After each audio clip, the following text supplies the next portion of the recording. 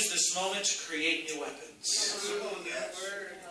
Start saying, How can I use this moment to create new weapons? Father, I don't pray for deliverance from the season, I pray for deliverance from themselves. Father, that they would deal with everything they need to deal with to be more like you, so in the world sees them, they would shine bright and blind the world. That the world would be blinded by the light that we bring, God. That we would be so transformed and conformed into the image of Christ that, that we wouldn't be recognizable, God. Yebro shebra kasi groshe basa kita brasu koshe baka tele neki tia sata. Ruse karabashika rabusanda rabusakata brasuto bushe. Rebiri ando brose braba baka suto broshe kaba basa kete basha kete baka saka teki Robo shibra saka brose kete brashi kibra suko toto broshe kete ke. Robo shibra saka ta brose karabashanda rabase. Father, I release your glory in greater dimensions in this place. Eradicate sickness today, God. Eradicate disease today, God. I command the pain in the lower back to go now in the name of Jesus.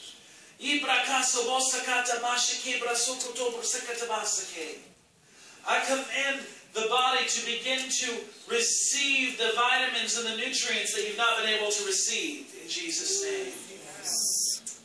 Ebroso, I command leaky gut syndrome to go in the name of Jesus. Ebroso, there's someone here you feel like you've been on a Ferris wheel and you've just gone up and down, up and down, up and down. You can't get off the cycle, and, and I saw the Lord release the gate. It's been a hormonal imbalance, is what it is. It's it's this hormonal imbalance that's gone up and down, up and down, up and down, round and round and round. And I saw the Lord release the gates so that you can begin to function normally.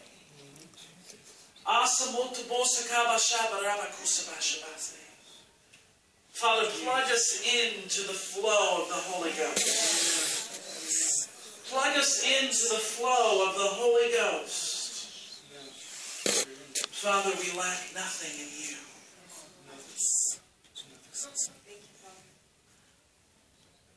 We lack nothing in you.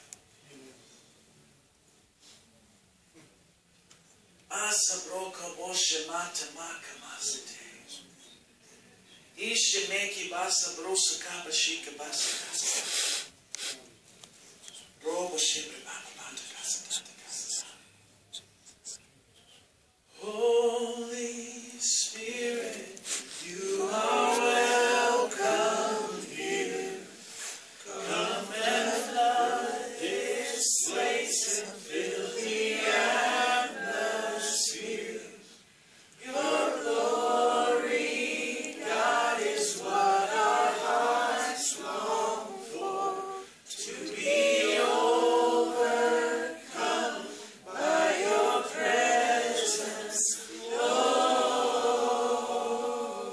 Holy Spirit, you're welcome.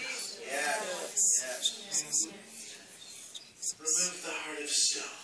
Amen. Remove the bitterness, God. Help them to see as you see.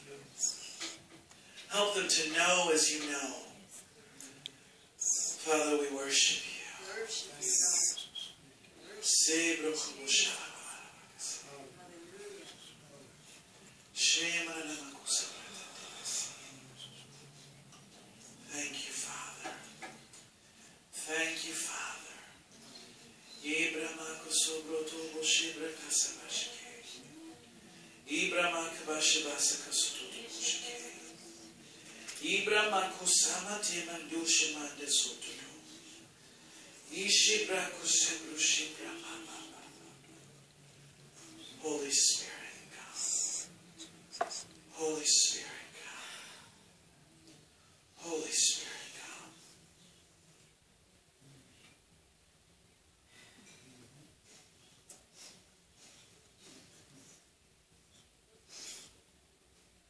You are awesome.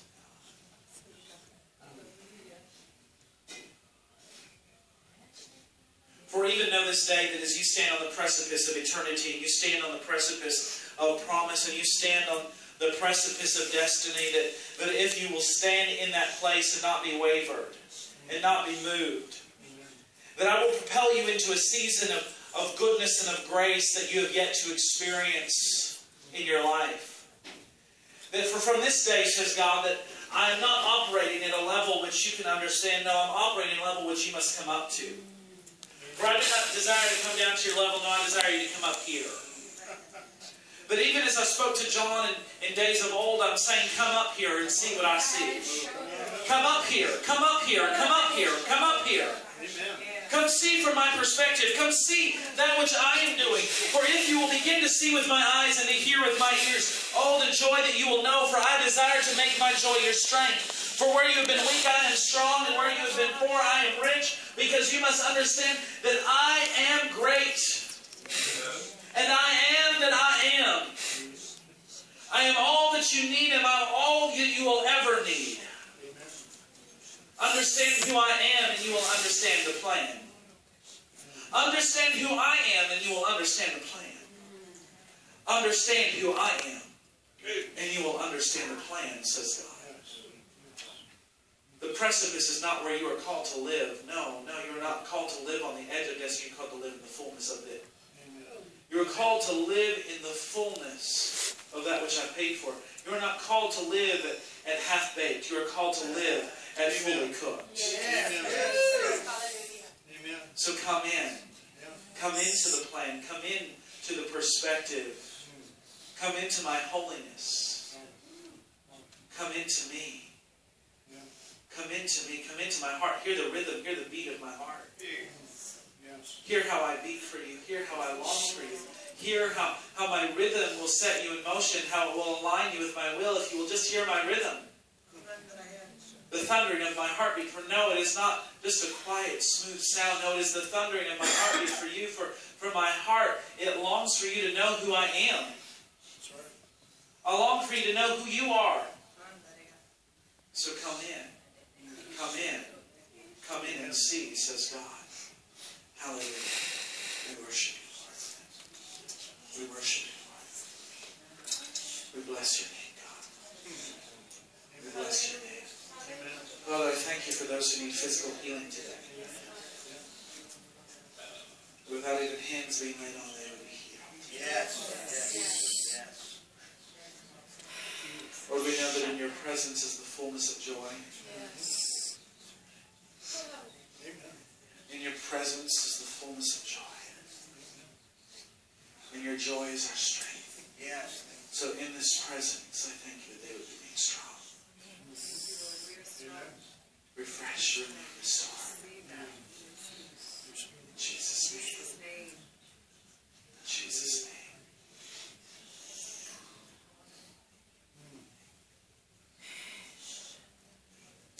As I close up today, I'm, I just feel impressed to, to read the word the Lord gave me for 2017. As I began to ponder with the Lord about the upcoming year, I realized He'd been giving me hints all year long about what 2017 was going to hold for the body of Christ. I had been given several key points that almost became a life message. It is these points that I believe the Lord is going to cause to come about in 2017. I believe the theme for many in 2017 will be a year of restructuring how we do life, ministry, family, and many other areas. I believe specifically the first three months of the year are key in this process to prepare us for a great shift to come in the second and third quarters of the year. I sense that if we will begin to embrace these restructurings, we will begin to see a move of God take place in the church like never before. There's been much teaching and revelation on the apostolic and prophetic release as of late. The shift, I believe, that is taking place is a return to the simplicity of what it means to be apostolic and prophetic. Absolutely. To be apostolic in the purest sense is to walk in a place of governance and authority, understanding that while we are not called to, while we are not all called to the office of apostle, we are all called to be apostolic in nature. We are to govern our metron of influence. We shift into our authority and then release it to those around us. Yeah. Then to be prophetic is simply to hear and obey. Prophets are waking up in this hour to their true form, a mouthpiece of love, redemption, and exhortation. That being said, I believe that in this hour, prophets are also waking up to the holiness and discipline of the Father. All true prophecy is coupled with correction through love. We are all being conformed into the image of Christ. As we are being conformed, the prophetic comes in handy to exhort us or pull us up to the higher place. This is legitimate sonship. We are not governed by external influence or circumstance. We are governed by the kingdom within. The fulfillment of, the G- of Jesus' promised comfort of the Holy Ghost, was to wake us up to the eternal reality of the kingdom. In this hour, the church must begin to be governed by this eternal truth. When the church begins to be governed by what is inside of them, they will begin to see greater authority over the circumstances on the outside of them. Rivers of living water will flow from within, John 7 38. When you encounter a river, it is very difficult to stop its path. So should it be with the, with the believer. Whenever a circumstance, whether human or demonic, meets the believer, it should not be able to stop them. The river of God flowing from the inside of you should create your reality. Regardless of facts, we are governed by the internal truth. I believe that the church is arising to its truest form in this season, an unstoppable river. Yeah.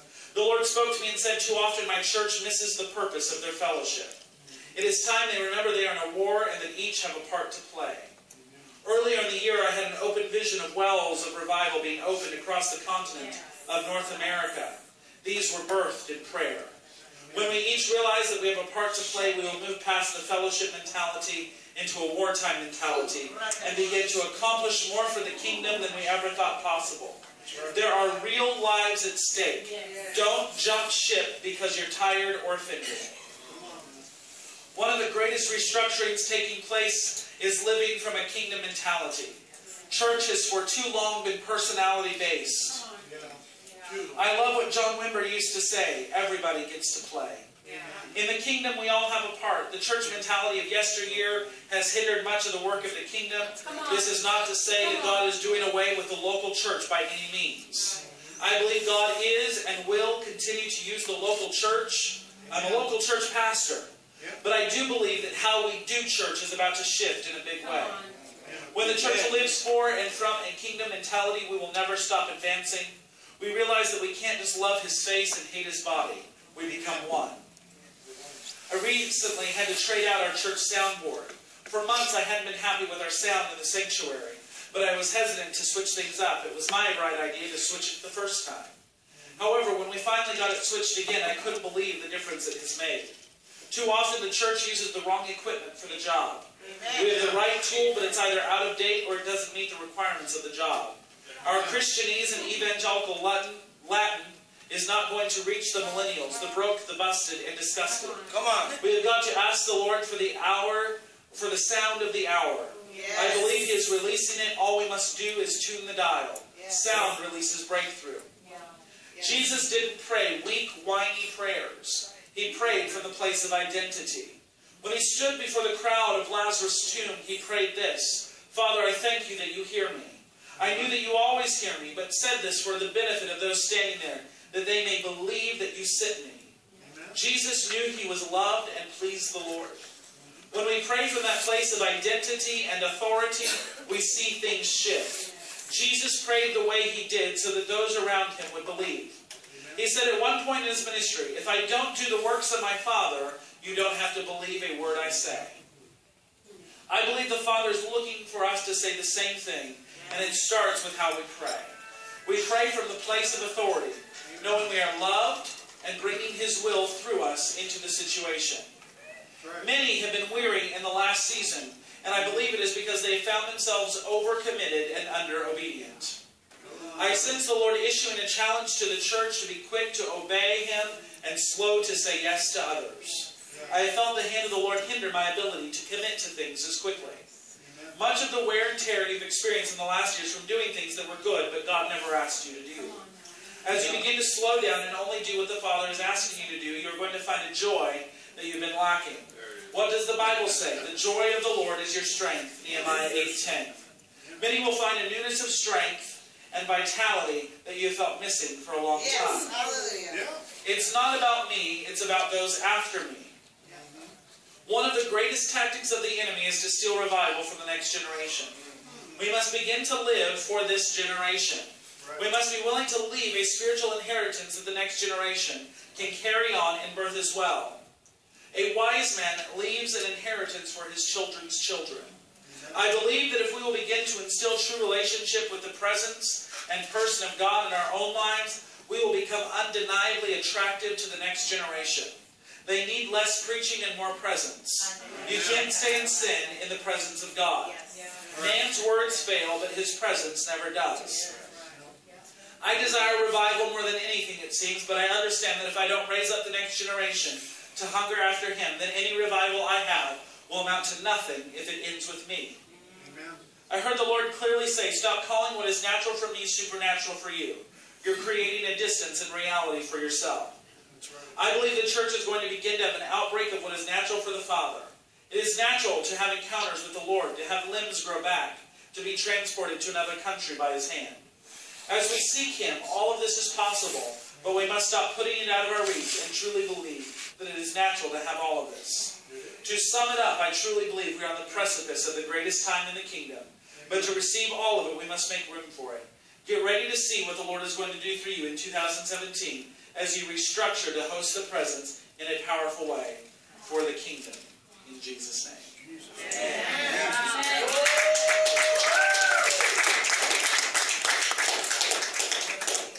We must get ready. We must restructure. We must make room for His presence. Father, I bless your people today. I thank you, Father, for each one. Encounter them powerfully. Help them restructure to make room for your presence, God. In Jesus' name. Amen. If you haven't got a chance, I'm out of uh, my book Encountered, but I do have my newest book, His Good Pleasure, uh, that is available. It's eight dollars. Um, Christina bought the last encounter that I brought with me on this trip. Um, so those are available on my website as well, jacobbiswell.com. If you will keep us in prayer, we have several overseas trips this year. I'll be in Belize for eight days. I'll be in New Zealand for a month. Um, that one I get to take my wife and baby with me, so that'll be really good. Um, we're kind of taking a sabbatical while ministering, so it'll be, I know. It, ministry just happens, but uh, we get to, to vacation all over New Zealand, and I didn't have to pay for it, so praise God. But um, you know, and then also, if you'll just stay tuned, uh, rolling out here in the next couple weeks is my new TV show uh, that will start online. We're redoing our contracts with God TV uh, to have it on internet or on cable TV, uh, but it's going to start with uh, Internet TV, AwakeningTV.com. Uh, we'll be hosting Encounter TV. That's the name of my show, Encounter TV. And the purpose of the show is to to train and equip the body to better walk in the prophetic. And then we're also going to have guest uh, ministers on the show each, you know, every now and then that I'll interview, and they'll share keys for walking in the prophetic, walking in encounters with the Lord. Uh, but I'm really excited about it. So again, God bless you. Thank you for hosting me. If you need special, like specific prayer, you want someone just to agree with you, I'll be sitting right over here, and I'd love to pray with you.